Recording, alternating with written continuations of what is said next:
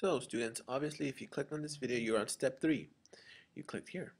And um, the videos that you needed before are here, in case you want to know how to put transitions, or if you still are having trouble starting the project, which is kind of late, um, you might not be able to finish on time. You have today and then tomorrow, uh, next week we'll have one more class day to work on this. And then you're going to have to finish it for homework. We're not completely done with the project because an STL is going to see this and they're going to have to give you feedback and you're going to have to go back and fix some things if you're missing stuff. But today what you need to do is this number 7 and 8. I made it bold at the bottom here. So here's the instructions on what to do. Step 3, it's down here. So slides 10 and 11 should be a bar graph on earthquakes along the Ring of Fire using the data from NGSS. Make a category of earthquakes of magnitude 2 through 6 Slide 11 explain your, your data and which kind of earthquakes are most common. Okay, what does that mean? So I haven't put it yet, but over here I'm going to put this link here. When you click on it, it's going to take you here. You're going to make a bar graph. A bar graph on what you say? A bar graph along of the earthquakes that happen along the Ring of Fire. So down here where it says uh, USGS, you can click on it and it takes you to this picture. And I've seen most of you working on this. You go to latest quakes then instead of being just California, you're going to uh, tell everybody how many earthquakes happened along the Ring of Fire. So push the little negative button. You get to this menu here. Here on the left is the list of all the earthquakes that have happened in the last two to three days along the Ring of Fire. You can see some of them are 2.5, some of them are 5. See the usually the bigger dot there. So these are pretty big dots too. Let's see this one, 5.1. Um, so what you're going to do is you're going to create a bar graph with these um, numbers here. So what you do is you take, uh, you click on this link to the, create the bar graph. And remember, if I'm going too fast, open a new window and try it step by step. Where it says start making a bar graph, how many bar graphs do you need? So you look at your earthquakes. The strongest one seems to be, scrolling down the list, a 5. 5 is the strongest. So you're going to need 5 sections. This might change as you do this because, of course, uh, there might be more earthquakes uh, when I'm doing this and you start doing it. So the name of the section, just number it by the power of the earthquake. So let's say 2, 3, 4, 5. Let's put 6 just in case. Okay, click on next. I forgot to mention right here where it says section, click on magnitude. That means how strong. Let's say it's a magnitude 2. And then write magnitude for all of them. So magnitude, magnitude 3, magnitude 4, magnitude 5. Do that for all of them, you get the idea. And then here, where it says the numbers, here's where you put the information. I just was putting some random numbers to double check. But let's say here, um, how many earthquakes that are 2s? That includes two all the way from 2.0 to um, 2.9. After that it becomes a 3, right? So let's say here's, here's one 2.5.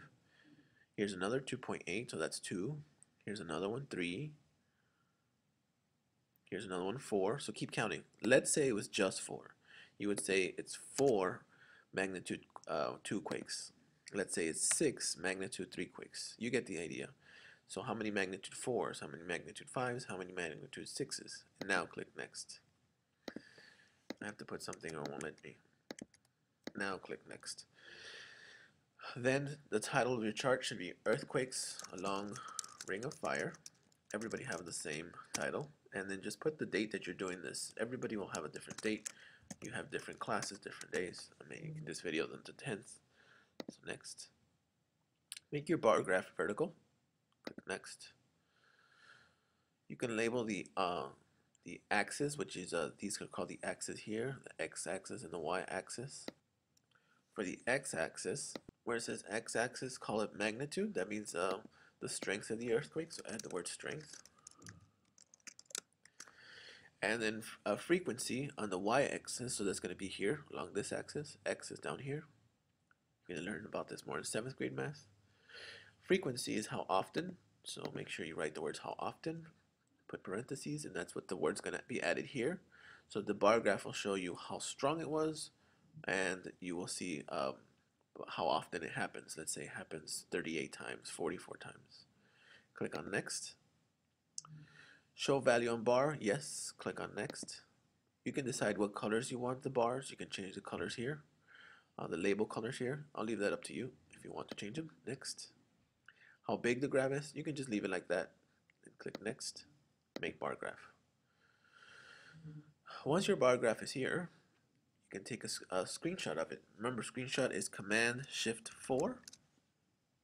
You can open it up, make sure it's all in the picture, and then take a screenshot of it. Then you will have it in your background here. Let me minimize this here. See where my bar graph is here, my background. My bar graph is right here. So you can just click on the picture and then drag it to your presentation. So if my presentation's here, remember if this video is going too fast, because I do not realize that it's a lot of steps. If this video is going too fast, just make sure you pause it or do it side by side. Um, that's the best way. That's my best advice for you all, at all times. So let's say you want to put your bar graph here. So let me create a new slide here. Put it there, and then of course let it go. And remember the instructions are to, let me go back to the instructions here, to make the bar graph, which should be slide 10. So slide 10 should be the bar graph. Let me highlight here for you. Um, you made the slide, that's slide 10 and slide 11, which is the same idea. You're going to just explain what you did.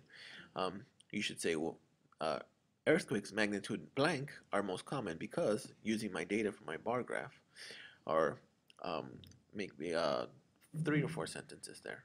Um, you can use a picture on both slides if you want, but you need to have the bar graph in slide 10 for sure, okay? And slide 12, briefly, should be a conclusion. What did you learn from doing this? What should people that watch this, if your parents come in and other people watch this, what should they learn? You're supposed to uh, inform them and educate them, so what should they learn from your presentation? Obviously, you did a lot of work with pictures and, and information and um, tell them what the they need to remember, like the takeaway, like what's the last thing they should remember as they see your presentation. Okay, that is the end of this video. Have a great day.